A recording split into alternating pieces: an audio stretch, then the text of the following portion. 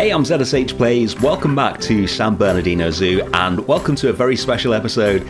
Today we're going to be doing three things. Firstly, building a new habitat.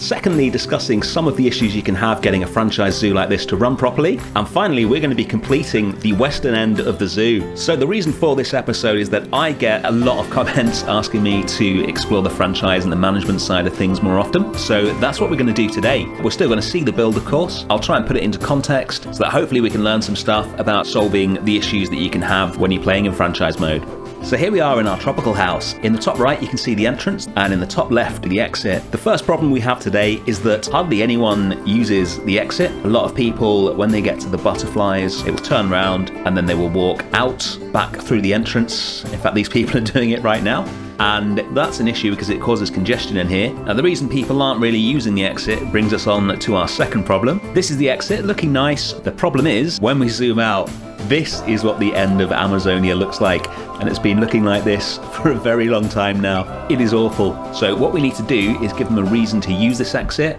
and simultaneously turn this absolute disaster into something worthy of San Bernardino Zoo. So the way we're going to fix it is by building a habitat for the new collared peccary in here, and then we can run a path out of the exit, past the peccary, and then up to the Jaguar Dome. And that way the guests will have a reason to come out of here and we've also got much better guest flow with two different ways to get to the Jaguar Dome. Now we do have one of our staff buildings very close by to where we're going to be building this habitat over here.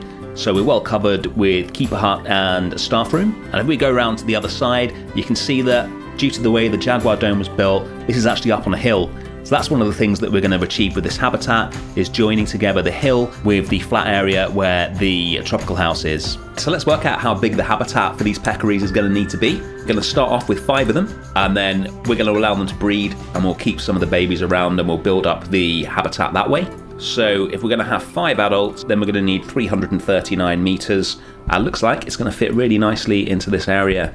We move this over here. We want it to incorporate the hill, and then we'll leave space for the path to sort of curve up towards the Jaguar Dome there. Now, I want this collared peccary habitat to be the complete opposite of the Red River Hog habitat that we built a few weeks ago. This place is going to be a mud bath. It's going to be a lot of fun to build. And speaking of the Red River Hogs, we have had a baby boom in our mixed species habitat. Let's go and check it out. Oh, wow, they are cute. Look at them. These guys have been in the game for a while now. I've never used them. I'm really happy that we added them into San Bernardino because these are absolutely adorable. The bongos have had a baby as well. I can't decide which is cuter, but I think it's safe to say this habitat is running really nicely. Now, while we're over here, we are going to grab the shelter for the Red River Hogs and install it in the peccary habitat. No sense in building this all over again. I really like this little shed. And then we're going to sort the barriers out. So we've done something I don't do very often here, which is to use the standard barriers to make the barrier for this habitat. I actually like this chain link fence. I think we'll replace the posts with something a bit more unique. And then we're going to put some rocks around it to keep the guests away from the actual fence. Now as the guests are going to be coming out of the exit and then walking past the habitat here, what we need to do is raise the terrain so that it meets with the path up here. So the way we're going to do that is to use the flatten to surface tool and position it so that we get just a really subtle gradient going downwards and then drag that across here until it meets up with the path here and then do the same from here and then we can get the paths in. So we're going to turn on the snap alongside barrier option and then we can easily just place a path that runs alongside this barrier here and goes up the hill to join with the Jaguar Dome. Now, if you haven't seen the Tropical House episode, the concept for this area is that Amazonia is a pretty new area in the zoo, but the Tropical House is one of the zoo's original buildings that's been here for 100 years. I want to extend that theme with this new habitat, and we're going to landscape around the Tropical House to make it feel even more like this classic building that's been left standing in the middle of a much more modern area. So we're going to do that using this rock. So we'll copy this, get it nice and flat, and then we'll turn on random rotation start using this to bridge the two areas together. And then we'll start copying it across and just bringing it slightly lower down each time. This is going to show the guests where to walk basically. And that provides like a nice end to these paving slabs, stops them from just disappearing. And then we can fill this with some nice plants. So we'll probably just take one of these slices of jungle here and then we'll put this into position. We'll just keep moving it around until I'm happy with where it is. Something like that looks good. And there we go, the surrounding area is looking good. Now we can get stuck into the habitat itself. All right, now to choose a fence post. This Twilight Portcullis wooden beam. We slot this in here, It's got a nicer colour than the uh, existing post, but it still gives us this texture from the, the fence. Should take a long time to replicate ourselves. And then I also found this wooden arbor panel, which I like. I think we're going to use this as well. If we get this so it is underneath this wire here. You've got this nice, slightly faded bits of paint on it as well, which I think looks really good. And that adds an extra bit of strength to the bottom of the fence where the peccaries are going to be rooting about. And then we can simply copy them all the way along this fence here. All right, the fence is all in, looking good, and now we can have some fun. What I want to do is make the muddiest habitat that you have ever seen. So the way we're going to try and do that is firstly, we're just going to put a little bit of a depression in here, and then we're going to use the mud baths. So what I'm going to do is see how many of these that we can fit into the habitat. Now it's quite challenging, you can't have them too close to the barriers, you can't have them too close to water, you can't have them too close to any other enrichment items because they need space for the animals to do the animations when they're in there. But we'll see how many we can squeeze into this main area. I've managed to get three in and what we're going to do is build the terrain up so that you can't see that these are separate mud baths. What I want is an effect that the whole habitat is just one big muddy wallow where all the terrain has basically just been completely destroyed by the peccary and it's just mud central in here. So we'll build up the terrain around all of these and then we'll replace the grass with the heavy soil texture which gives us a nice muddy look. Once we've covered the whole habitat in the mud, we'll take a look at it Yep, that definitely looks muddy. And now we want to add some detail. So we'll put some little bits of short grass here and there and some little bits of lighter dirt.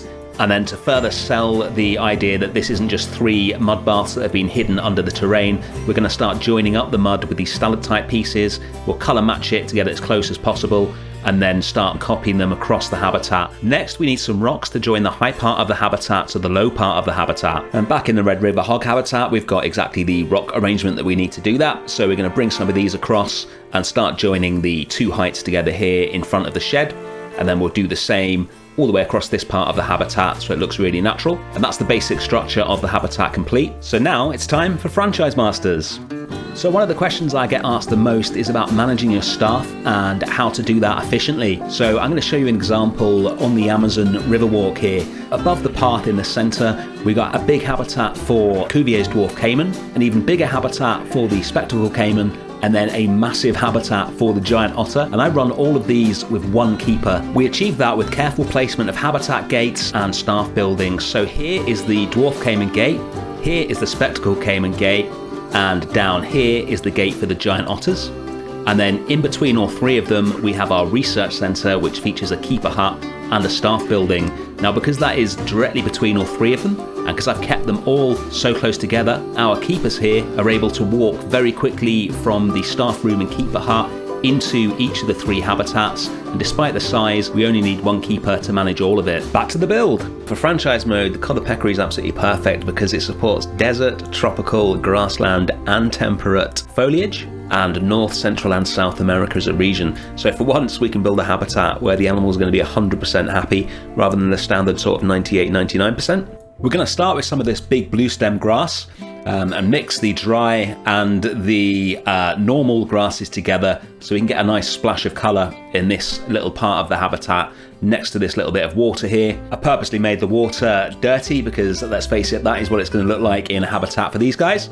And then we're going to drop a load of grass in. Rather than using the default long grass, we're going to drop loads of the buffalo grass in. And then once we've got a nice little arrangement, we're going to select it all and drop it down so just the tips of the grass stems are poking out. Rather than making it look lush, it just adds a little bit of interest to the habitat and a different colour and I kind of figure around the margins of the habitat where we're going to place this grass, the grass is going to be less destroyed by the peccary, and it just gives a kind of two-tone effect. We've got little bits of green in and around all the uh, brown Thank you for all your comments on last week's Gorilla Mountain episode, by the way. That went down really well. Really glad that you enjoyed the longer episode. I think if I ever feel like I'm really struggling to get an episode down to 15 minutes again in the future, then I'll probably do more 20 minute episodes like that. Wasn't necessary this week, just got a cute little build here, trying to get the most realistic peccary habitat that I can. But obviously, it's not particularly large and it is 90% mud, so I don't think it needs a full 20 minutes this week. So that's the grass done. We're going to drop in a few more elements here, a nice dead tree, and then loads of the tropical leaf litter. Again, mostly around the margins of the habitat, just brings another shade of colour into the habitat, and this kind of uh, detritus is going to be very prominent in habitats like this. There is going to be a load of trees surrounding this later on, uh, which is where all the leaves come from.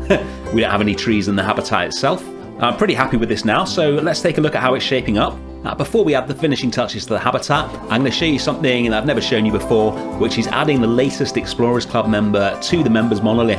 Thought you might want to see how this actually works. So here's the monolith, and the way this thing works is that inside these pieces here is a load of the Australian signs, quite a few of them now.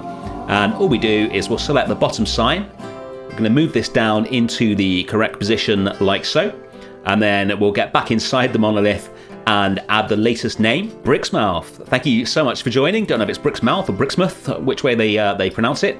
But there we go. There's the latest member added into the monolith. And as always, hit the join button on the channel if you want to see yourself here. Right, let's add the finishing touches to the build. Starting with a herb scent marker, we'll put that nice and close to the barriers to encourage the peccary to come near the front. We'll put a load of the watermelon feeders in as well. And then we're going to make a little custom water trough so I discovered when we built the tapir habitat that you can actually have this off the ground slightly and the animals will still use it if you get the position right. So we're going to put this just above the grass and then we're going to build some wood planks around it and make it look like a, um, a nicely designed wooden water trough rather than just the sort of metal tray that the game provides us with. So we're going to use some more of the twilight pieces here and uh, just get a couple of these very thin planks in We'll do some rotating as always so they don't look all the same. And then we will move them across and once we've got a few of them together, we can group them like so and then just easily make the surround with it. It's such a simple little thing this, literally just two pieces, but it looks so nice when it's done, so much better than just having a metal tray sort of lying on the floor. We might have to do some fiddling about with the exact height of it, etc., to make sure that the animals can drink from it once we've got the peccaries in here. The inside of the shelter that you can see behind this, by the way, is very simple. It's uh, just a pig pen, really, so we're not going to go into building that. Just some concrete pens, basically. But yeah, that's the water trough done. Really happy with that. And that's the habitat itself pretty much finished. All we need to do now is take care of this area and get the western end of San Bernardino Zoo complete. So we're going to grab one more of these jungle pieces and then modify this so that it fits the end of the zoo. We're going to put loads more rocks in it and rearrange the trees. And then what that will do is A, finish off this end of the zoo, B, provide a really nice lush backdrop to this very muddy habitat, and C, block out the view of the rest of the map when you are in the zoo so that what's happening outside the bounds of the zoo is left to your imagination rather than just seeing a big swathe of blank map. Let's take a look at the finished habitat and see if we have solved our problems. Yes, guests are finally using the exit of the tropical house. We've got people looking at the peccary, guests walking up towards it. We've got some coming down from the Jaguar Dome. We have solved the problem, and perhaps more importantly, the end of the zoo now actually looks like the end of a zoo rather than just a big blank space. I'm so happy with this little build, how it has tied it all together. Just shows you what you can do with one simple little muddy habitat. It's not as easy as you'd think to make a realistic muddy looking habitat. It takes quite a lot of um, terrain painting and obviously hiding these mud baths in and the peccaries are all over them pretty much always covered in mud, which is exactly what you want to see. I'm really glad Frontier added these into the game. Zoos are always full of pigs and their relatives, and we've only had, what, two of them uh, for quite a while now, so it's great to get a third species in here, and it's also really fun to build a little habitat like this that you might find in tiny little zoo, even a farm anywhere around in the world, rather than the big habitats that we normally build. This is the view at the end of Amazonia now. It is so good to finally have it finished. You can just see the peccary habitat in the centre there, and that was just a big hole before, and now there's this vista across the whole area that looks really good. Now with the western end of the zoo finished, I've got a little treat for you before we go. Something I've never shown before, an aerial view of the entire zoo, so we can see where everything fits together in context. There we go. So we've just been working on the very far left of the screen there. Peccary habitat is just coming into view. And then we go right the way across Amazonia, the water terraces, and Australia to the islands. And then you can see the little uh, island of Africa at the top of the screen. Next week, we'll be back in Africa doing something fiendishly complex and very big. Thank you so much for watching, as always, guys. I'll see you again next week. Bye.